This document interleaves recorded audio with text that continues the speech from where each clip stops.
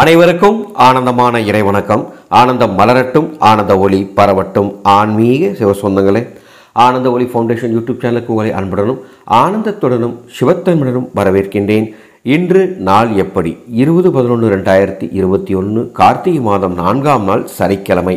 இன்றைய நாள் மாலை நான்கு மணி ஐம்பத்தி இரண்டு நிமிடம் வரை பிரதமை திதியும் பின்பு துவிதியை திதியும் இருக்கின்றது. நட்சத்திரம் அப்படிங்கிறது காலை ஐந்து மணி பதினோரு நிமிடம் வரை கிருத்திகை நட்சத்திரம் பின்பு ரோகிணி நட்சத்திரம் சஞ்சாரம் செய்கின்றது. இன்று அமிர்த யோகம் நிறைந்த நாளாக இருக்கின்றது. விசாக நட்சத்திரக்காரர்களுக்கு இன்று சந்திராஷ்டம தினமாக வருகின்றது.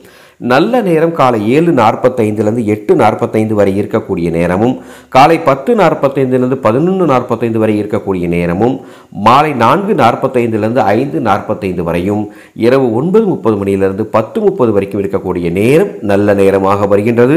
ராகு காலம் காலை ஒன்பது மணியிலிருந்து பத்து முப்பது வரைக்கும் இருக்கக்கூடிய நேரம் யமகண்டம் மதியம் ஒன்று முப்பதுலேருந்து மூன்று வரைக்கும் இருக்கக்கூடிய நேரம் இமகண்டம் சூளம் கிழக்கு சூளமாக வருகின்றது. இன்றைய நாள் மேல்நோக்கு நாளாக அமைகின்றது. இன்றைய நாளின் நீங்கள் வழிபட வேண்டிய தெய்வம் சிவ வழிபாடு செய்வதற்கு உகந்த நாளாகவும் நவகிரக வழிபாடு செய்வதற்கு உகந்த நாளாகவும் மகாவிஷ்ணு வழிபாடு செய்வதற்கு உகந்த நாளாகவும் அமைகின்றது. இன்றைய நாளின் ராசி பலன்களை சொல்லப் போகின்றேன். மேச ராசியை பொறுத்தளவுக்கு இன்றைய நாள் பாசம் அதிகரிக்கும். ரிஷப ராசியை பொறுத்தளவுக்கு பொறுப்புடன் இருக்க வேண்டிய நாள். மிதுன ராசியை பொறுத்தளவுக்கு எதையும் சமாளிக்க வேண்டிய ஒரு நாள் சமாளிப்பீர்கள். கடக ராசியை பொறுத்தளவுக்கு கவனமுடன் இருக்க வேண்டிய நாள். சிம்ம ராசியை பொறுத்தளவுக்கு சிறப்பான நாள். கன்னி ராசியை பொறுத்தளவுக்கு வளர்ச்சி மிக்க நாள். துலாம் ராசிக்கு ஆதாயம் விருச்சிக ராசிக்கு சோர்வு தனுசு ராசிக்கு ஆதரவு அதிகரிக்கக்கூடிய நாளாக இருக்கும்.